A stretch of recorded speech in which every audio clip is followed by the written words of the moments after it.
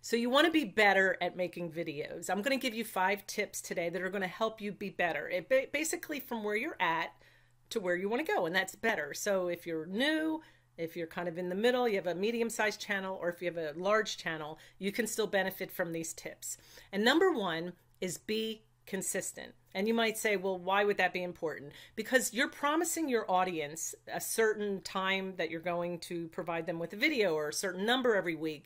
And if you're not consistent, people are going to stop counting on you. It kind of ruins your credibility if you think about it. If I tell you that every Monday, Wednesday, and Friday at two o'clock you will get a video from me, and I say hit that notification button, hit it by the way. I'm going to give you more than that. Um, if you're telling people that and then you're not providing what you promised, it really ruins your credibility. It doesn't matter how good your videos are, but people will stop watching and they'll go off and watch somebody else who who's consistent and says what does what they say they're going to do. Another thing that is very important to be consistent with and I don't think a lot of people think about this is be consistent with your content. If you're talking about how to build a business, then make sure all of your content surrounds that. Now, you might start having an interest in um, Instagram or something like that, or let's do something more off the wall, let horseback riding, and you might want to start, you know, giving videos on how to how to properly go horseback riding. It has nothing to do with building a business. I really wanted two things that were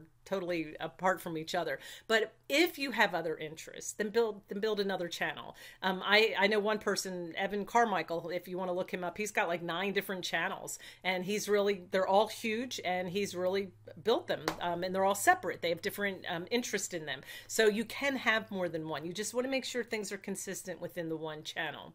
Number two contradicts number one. But if you really want to get better on YouTube or be better at what you're doing, and we measure better by more subscribers and more views, right? That's kind of the data that is behind YouTube, then you want to have more videos. It's just math. It just makes sense. If you're only providing one video a week, your your chances of growing are going to be smaller because your um, YouTube is promoting your videos when people are searching. And yes, you might have a fantastic video, but you only have one, while somebody over here might be putting out seven a week.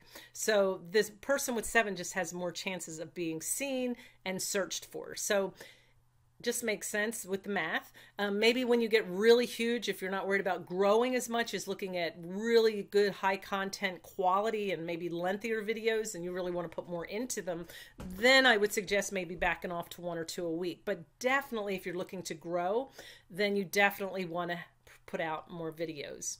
And they don't have to be 30 minutes long or 45 minutes long. People like uh, good quality content and their time is really valuable. So if what you have to say is said within eight minutes, then that's great. Don't draw it out and drag it out. That's that's not going to help it get any better.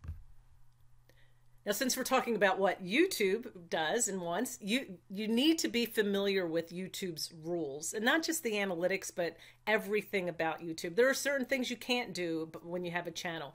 Um, I was just watching um, a, another video, actually in YouTube Creator Academy. I highly recommend that you watch the videos in there, and you'll learn everything you need to know about what YouTube wants you to do. They're going to, they talks about how to help you grow your channel, how to grow an audience, and how to have good content and things like that and follow the rules. And one of the things that they talk about is monetization. Um, if you get to the point where you could be monetized, where you have 4,000 hours and a thousand subscribers, you can get declined just because you didn't follow one of their simple rules.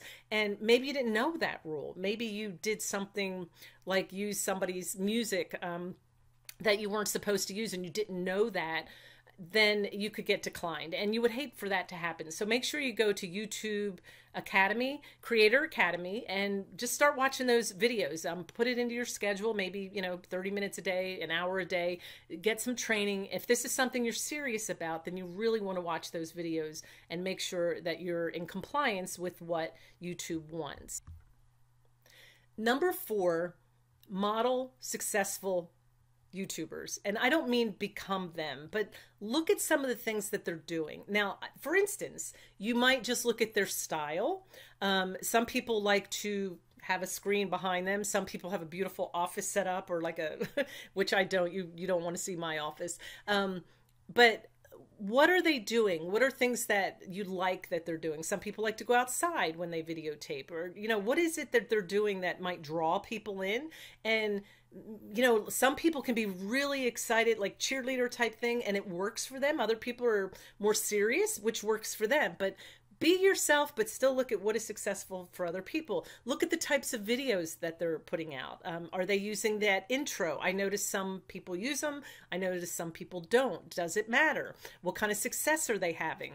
Um, just just look at them, but don't copy them. If that makes sense. Look at them as a model and what are things that you want to take from different successful video creators and use it in your own and just start experimenting. You might even start putting different things together and then creating your own little style, if that makes sense. But always try to improve, is my point. Don't just do the same thing over and over and not do anything different and improve from there.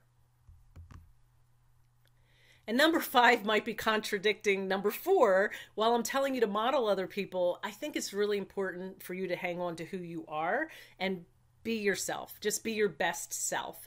Um, I say that because sometimes we start getting so caught up in watching other people and seeing how successful they are, and we're trying to figure out why. And then we start trying to become them, and then we lose ourselves. And that's why I really wanted to put those two points together yes, I want to model and see what people are doing, but I also don't want to lose who I am. And you don't want to lose who you are. But you do want to be the best version of you. You want to keep getting better. So, five tips that'll help you become better on YouTube. And they're easy tips to do. They're very easy things to consistently improve on so that you can be better at what you're doing. And don't forget to hit that notification button. My consistency to you is six videos a week as of this video, and they are posted every day from Monday through Saturday at 3:30. And I will always give you videos to to help you build your business, especially using YouTube to create for your content. Um, I experimented with different platforms and I am 1000% love this platform and I think it's the best one out there. And my reasoning is it's evergreen. Once you make a video and you put it on here and this is your content to help build your business, it doesn't go away. It's so discouraging when you're posting, in my opinion, on Facebook or Instagram or something like that, where it goes out, um, the, the an- analytics will, um, decide or the algorithms will decide you know who sees it and who doesn't see it but here whoever is searching for you will find it. Um, and, and it's just the competition isn't the same and it doesn't disappear. And that's the biggest thing. All right. You have a good one, and I will see you on the next video.